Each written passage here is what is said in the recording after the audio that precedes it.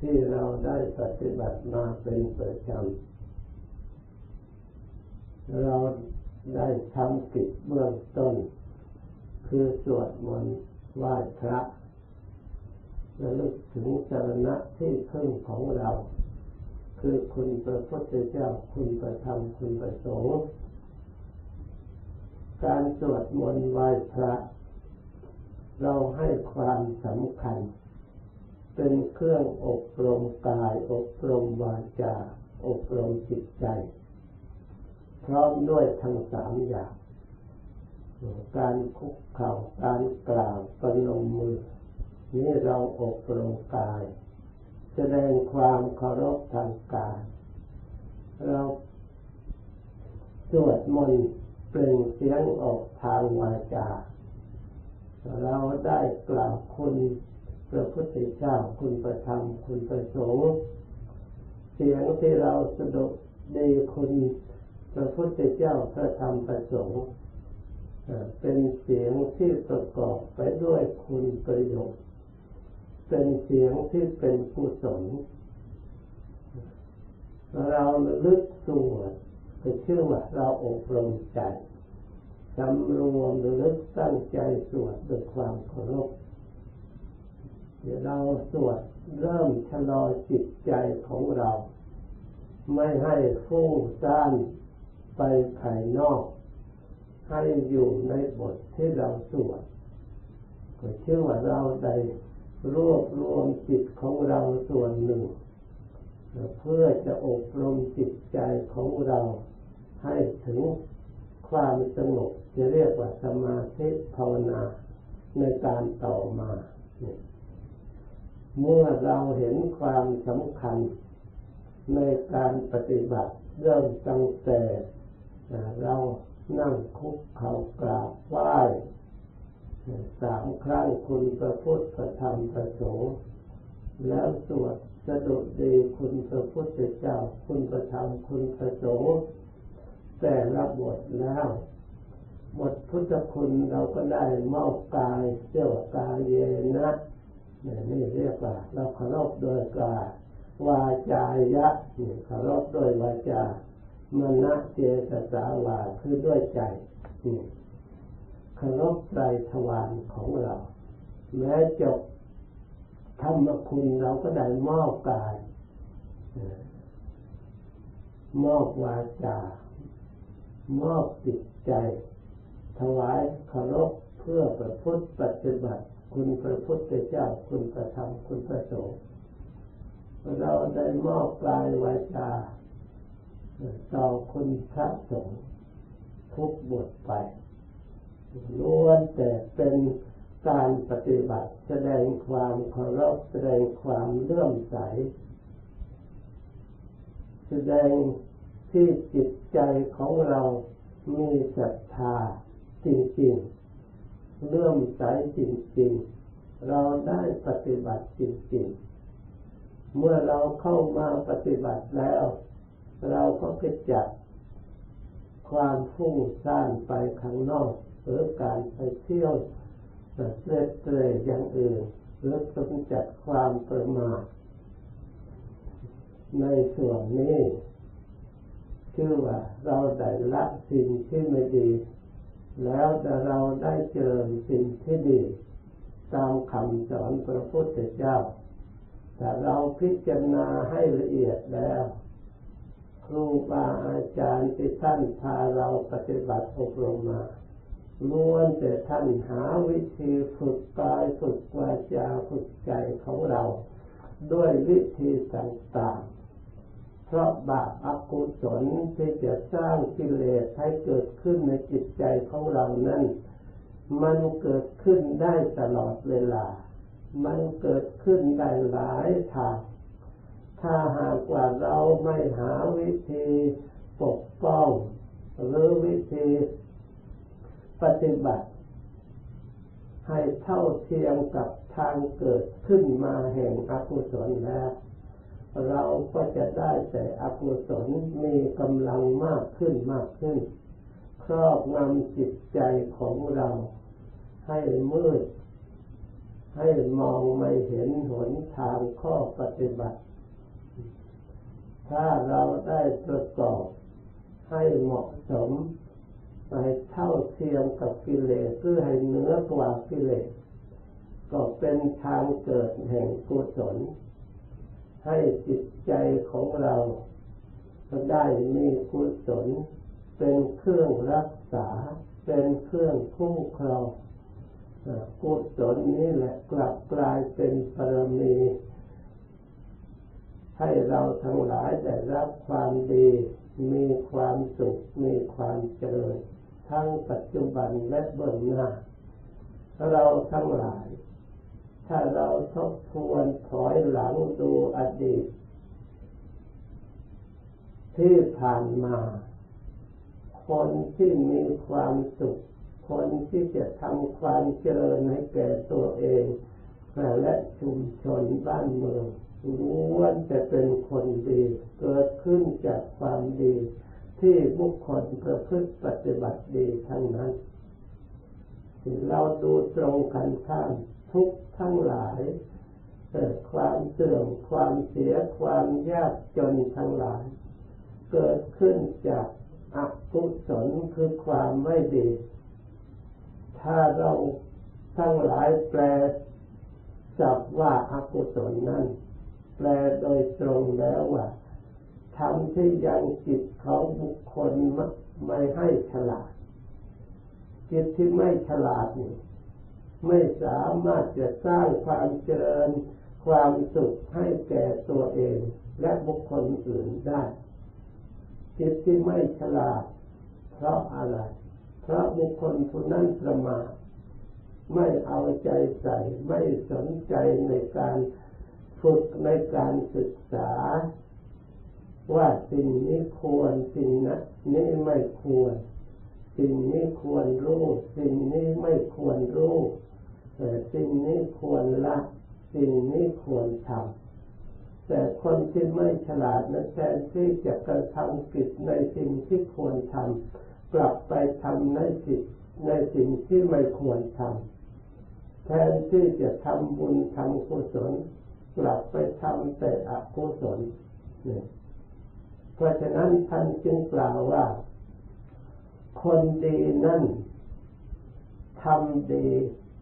ได้ง่าย แต่ทำความชั่วยาก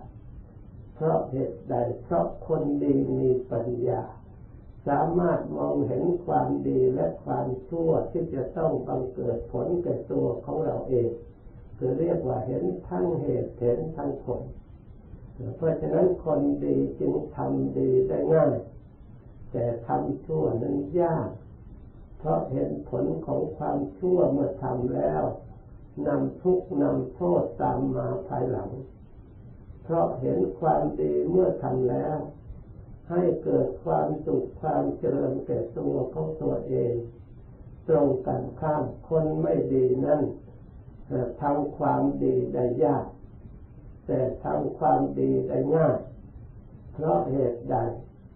เพราะเขาไม่รู้ว่าสิ่งนั้นไม่ดี และก็ไม่รู้ว่าสิ่งนี้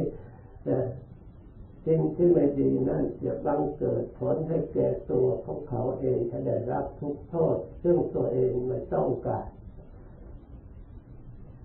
เพราะฉะนั้นคนไม่ดีจึงได้ประสบสิ่งที่ทุกข์เป็นอันมากทั้งตัวเองและบุคคลผู้อื่นตัวเกี่ยวข้อง จึงเห็นได้ว่าความไม่ดีที่พระพุทธเจ้าพระองค์สอนให้ละนั้น เป็นสิ่งที่ถูกต้อง เราตรองรู้ได้โดยจิตใจของเราธรรมดามองเห็นทั้งโทษที่พระพุทธเจ้าสอนให้ละให้เว้นไม่ให้กระทำเห็นทั้งคุณที่เราละเว้นได้แล้ว เราไม่มีโทษ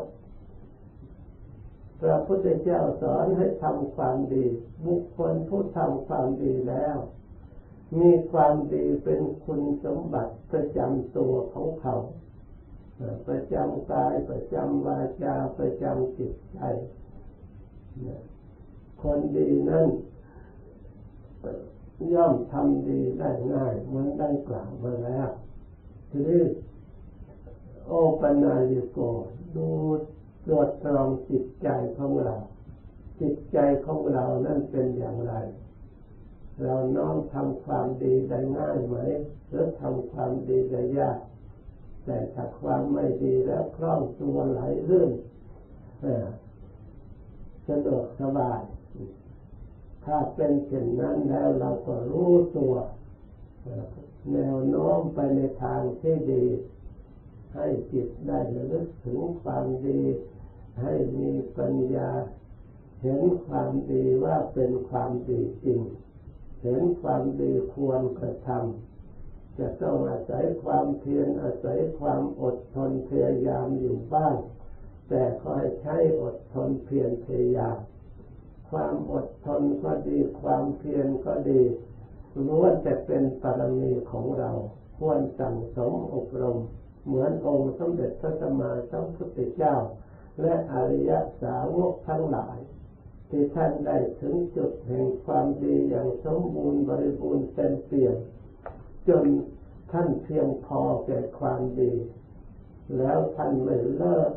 ท่านได้เลิกละไม่ทำความชั่วต่อไปอีก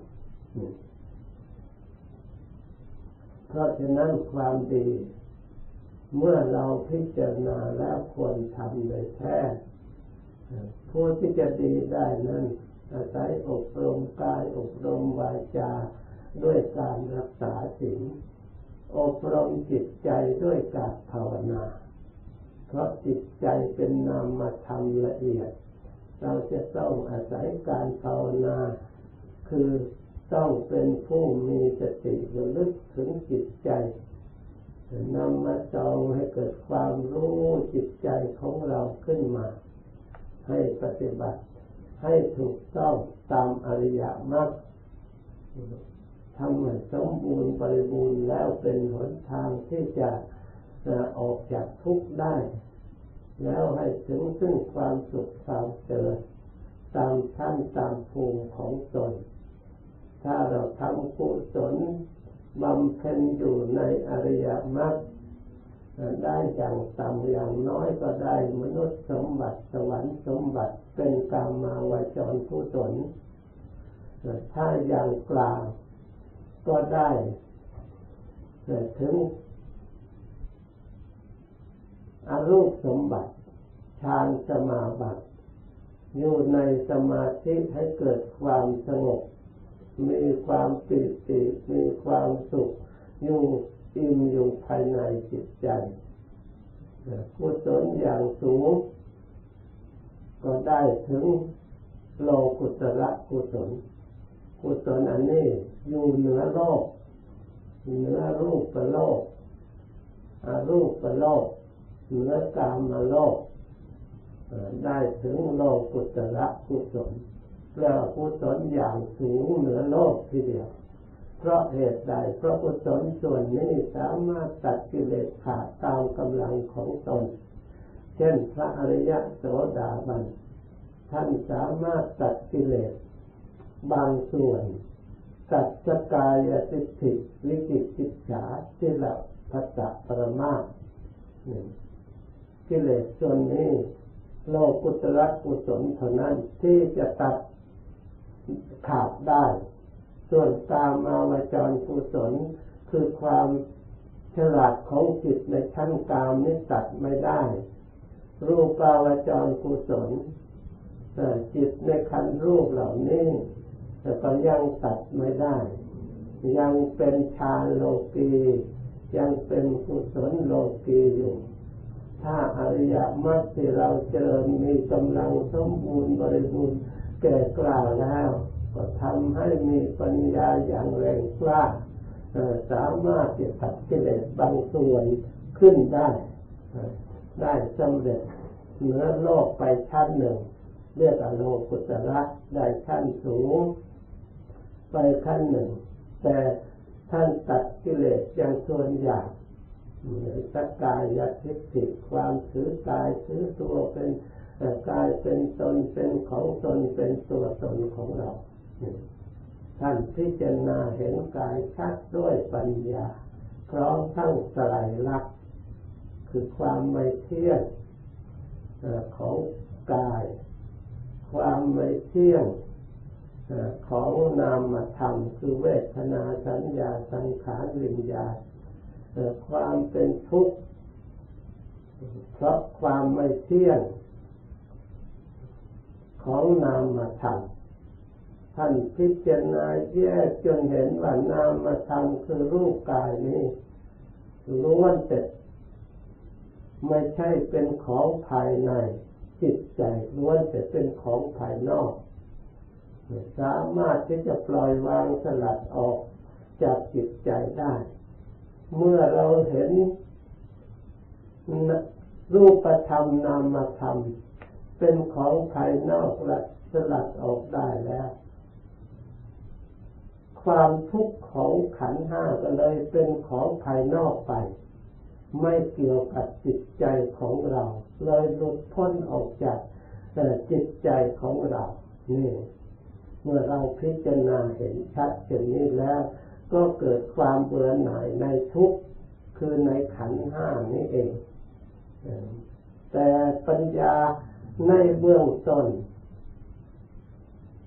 ไม่สามารถที่จะตัดกิเลสอย่างละเอียดแต่ว่านั้นให้หมดสิ้นได้เพราะฉะนั้นอริยะโสดาบันในเบื้องต้นจึงตัดกิเลสในเบื้องต้นสามอย่างได้ จากนั้นท่านอบรมภาวนาต่อไปอีกทำให้กิเลสบางส่วน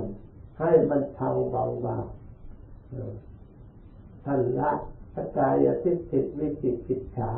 แล้วทำราคะโทสะโมหะให้เบาบางลงไปอีก ท่านปฏิบัติจิตกิเลสละเอียดต่อไปอีก สามารถขจัดกิเลสอย่างละเอียดจะได้ ตามมาราคะได้เด็ดขาด ปฏิฆะได้เด็ดขาด ละสังโยชน์เบื้องต่ำได้